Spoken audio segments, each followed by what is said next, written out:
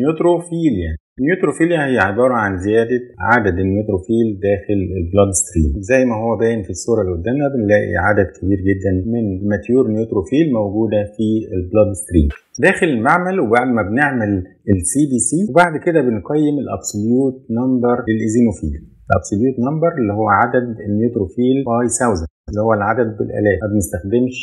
ال percent في عملية الإيفالويشن للإنكريز أو الديكريز في الليكوسايتس. أي زيادة في ال absolute neutrophil count عن ال normal value بنسميها neutrophilia أو neutrophilic leukocytosis. وغالبا ال normal absolute count لل neutrophil بيبقى 7500 neutrophil per microliter. أي زيادة عن الرقم ده بنسميها neutrophilia أو neutrophilic leukocytosis.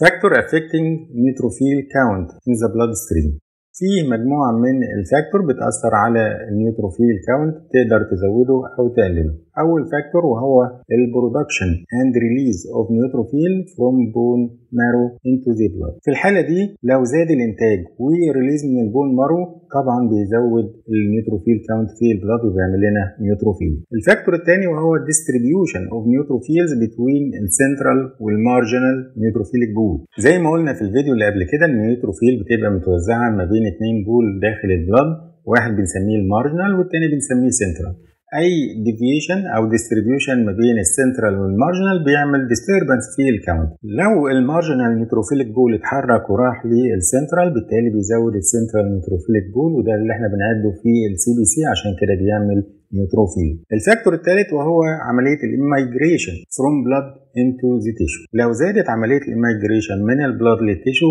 طبعا بتأثر على ال count وبتقلل ال count في ال blood stream بينما لو قلت عملية ال migration لل tissue ده بيؤدي لزيادة ال count الموجود في ال blood stream وبيعمل لنا neutrophilia أي تغير في الثلاث أسباب بيأثر على ال neutrophil count ال neutrophilia بيبقى لها أسباب كتيرة وفي منهم ثلاث أسباب رئيسية. أول سبب وهو ال excitement السبب الثاني وهو ال stress والسبب الثالث اللي هو ال inflammation. ال excitement أو بنسميه ال epinephrine neutrophilia السبب الثاني بنسميه ال stress أو corticosteroid neutrophilia والسبب الثالث اللي هو ال inflammation neutrophilia. هندرس كل واحد منهم بالتفصيل بنعرف أسبابه وإزاي نفرق ما بينهم داخل المعمل. اول نوع وهو ال excitement أو ال epinephrine أو بنسميه physiologic neutrophilia لما بنشوف ال laboratory finding بتاعته بنلاقي فيه mild mature neutrophilia ما بيبقاش فيه left shift no left shift إنها طبعا بتبقى mild neutrophilia الجسم ما بيبقاش في احتياج إن هو يطلع immature cells من ال bone. كمان بيبقى فيه lymphocytosis و erythrocytosis وثرومبوسايتوزيس بينما الاذر سيلز زي المونوسايت والزينوفيل والبيزوفيل بتبقى في ال normal value physiologic neutrophilia بتبقى transient معناه إن هي بتحصل لمدة فترة قصيرة جدا من 20 30 minute لأن بعدها بيختفي المؤثر وبترجع كل حاجة تاني لل normal وال physiologic neutrophilia دايما بتحصل في حالات الإكزايتمنت والإكسرسايز والبارتيوريشن. والميكانيزم اللي بتحصل عشان ال physiologic process دي تزود ال neutrophil بيحصل increase لل epinephrine release وال epinephrine مسؤول عن ال increase في ال heart rate وكمان بيعمل increase في ال blood pressure وال blood flow وده طبعا بيسبب mobilization of marginated neutrophil وبيعمل لها redistribution في ال central neutrophilic pool وبالتالي النوع ده من ال neutrophilia اللي هو ال physiologic neutrophilia إحنا بنسميها pseudo neutrophilia لأن هنا بيبقى زيادة ال count الموجود في ال blood بيبقى نتيجه لانضمام ال marginal لل central neutrophilic pool وعشان كده لما بنيجي نسحب عينة ال blood بناخد من السنترال والعدد بيبقى زايد. ولكن طبعا الزيادة دي مش حقيقية لأن ما حصلش increase في ال production من ال bone marrow كل الحكاية إن حصل redistribution من ال marginal لل central neutrophilic pool ال lymphocytosis اللي بتبقى موجودة في ال physiologic neutrophilia ده بيحصل نتيجة لأن ال epinephrine بيعمل prevention لل blood lymphocyte from re-entering ال lymphoid tissue عارفين إن ال lymphoid cells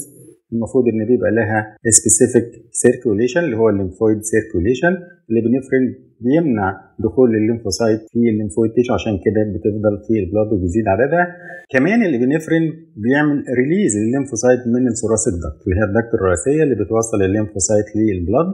ال epinephrine بيزود سرعة ال release من ال thoracic duct لل blood stream عشان كده ال lymphocyte بيحصل لها increase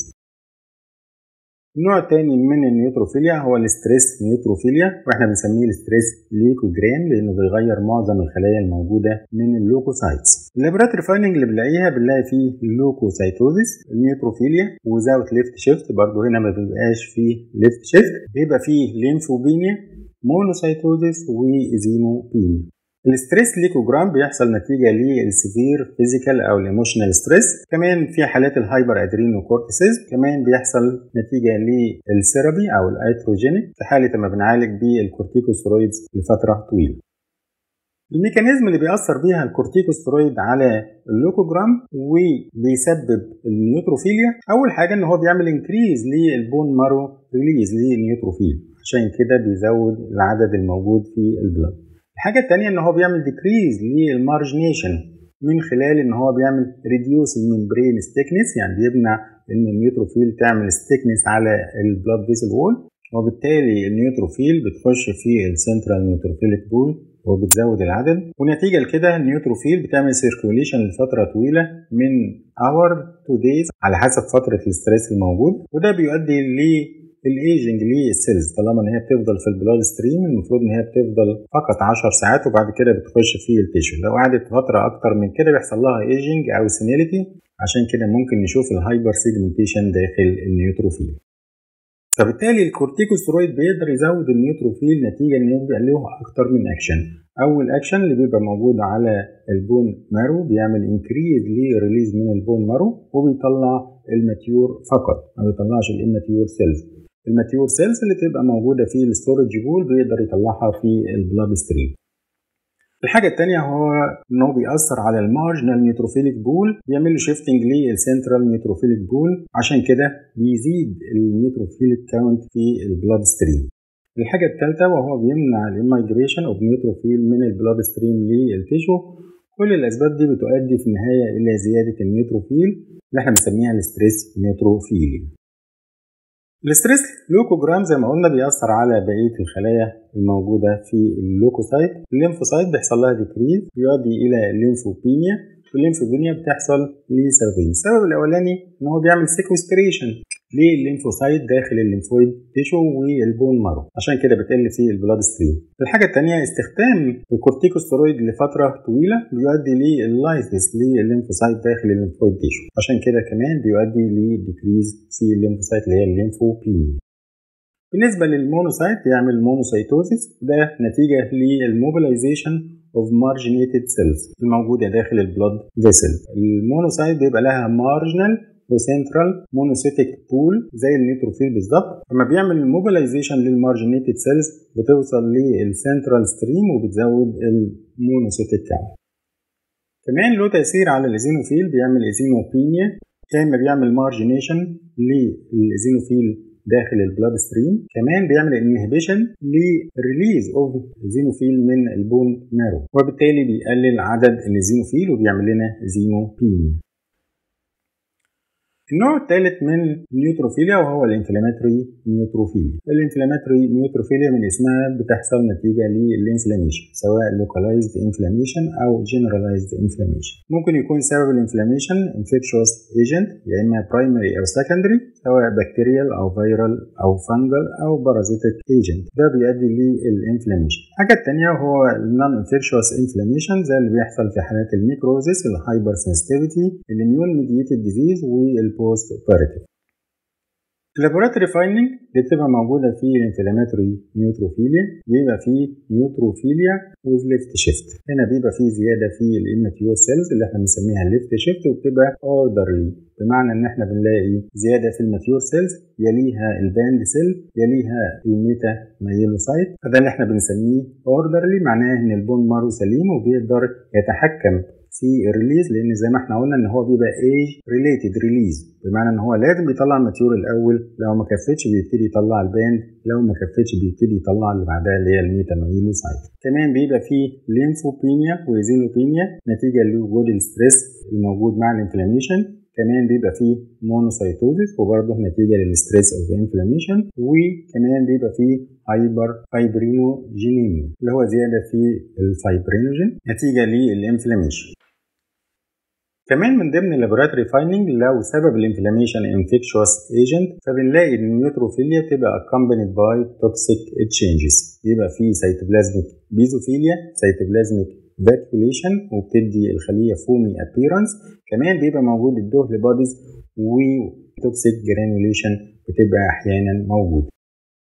ال inflammation neutrophilia بتحصل نتيجة لل inflammation داخل ال tissue ونتيجة لوجود ال infectious agent أو ال remnant من ال destructed tissue تؤدي لزياده ال cytokine اللي بتفرز من ال T lymphocyte وال macrophage اللي هو ال granulocyte colony stimulating factor اللي بعد كده بيروح لل bone marrow وبيعمل increase لل formation و release من ال bone marrow عشان كده بنلاقي ال bone marrow بيسرع عملية الإنتاج وكمان بيعمل increase ل release وبيطلع ال mature وال immature cells اللي هي ال band cells عشان كده في ال blood stream بنلاقي ال mature cells وال band cell اللي هو indication في left shift بعد كده بيحصل ال migration لل neutrophil وبتوصل لل tissue عشان تقدر توقف ال inflammation أو ال infective agent اللي هو موجود في ال tissues وكل ما يزيد درجة ال inflammation كل ما يزيد كمية ال granulocyte colony stimulating factor وبالتالي بتأثر على ال bone marrow وبتعمل release لكمية كبيرة جدا من ال neutrophil ومعاها ال immature cells أحيانا بيبقى في بعض أنواع ال inflammation ما بيبقاش معاها left shift لأن زي ما إحنا قلنا في ال mechanism اللي فاتت ال left shift هو ال classic response لل inflammation ولكن في بعض ال exception وهو ال mild inflammation may not be severe enough to cause ال shift left معناه لو هو inflammation بسيط مش محتاج إن يزود ال bone marrow بل بياخد ال neutrophil من ال blood stream وبيوديها لل tissue وتقدر توقف ال inflammation. الحاجة الثانية اللي بيبقى فيها exception وهو ال long standing inflammation. في الحالة دي ال production of neutrophil may be balanced with usage وفي الحالة دي ما بيبقاش فيه left shift بمعنى إن لو ال inflammation استمر فترة طويلة ال bone marrow بيقدر يعمل balancing يعني بيقدر يزود الإنتاج بتاعه بحيث إن هو بيغطي الاحتياجات ومش محتاج إن هو يطلع ال immature cells عشان كده ما بيبقاش فيه left shift بقية الأسباب اللي بتؤدي للنيوتروفيليا بالإضافة للإبنفرين نيوتروفيليا والستريس لوكوجرام والإنفلاماتوري ليكوجرام النيوتروفيل بتزيد في حالات ال necrosis في حالات ال intoxication في حالات ال severe hemorrhage وال severe hemolysis وكمان بتزيد في حالات اللوكيميا involving ال neutrophil ال neutropenia معناها decrease ال neutrophilic count داخل ال blood stream وغالبا لما بيقل عن 2000 ونص per microliter في الحالة دي إحنا بنعتبرها neutropenia. ال causes of neutropenia بيبقى فيه ثلاث أسباب رئيسية بتؤدي لل neutropenia أول واحد اللي هو ال excessive tissue demand لل neutrophil الحاجة الثانية هو ال sequestration لل neutrophil والحاجة الثالثه اللي هو reduction لل production of neutrophil من ال bone marrow. أول سبب وهو ال excessive tissue demand لل neutrophil وده بيحصل في حالات ال acute inflammation داخل ال tissues وبالتالي بيحصل increase لل emigration of neutrophil من ال blood stream لل tissue عشان تقدر توقف ال acute inflammation اللي بيحتاج كمية كبيرة جدا من الخلايا وبيبقى ال bone marrow لسه ما عملش compensation إن هو يقدر يطلع ال cells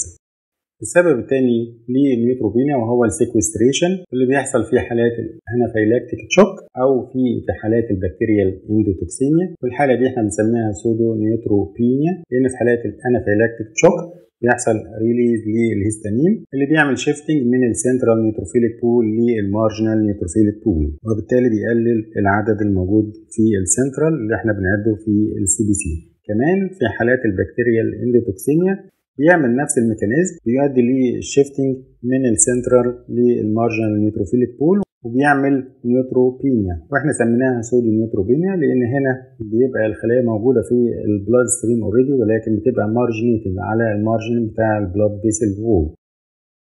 السبب الثالث اللي بيؤدي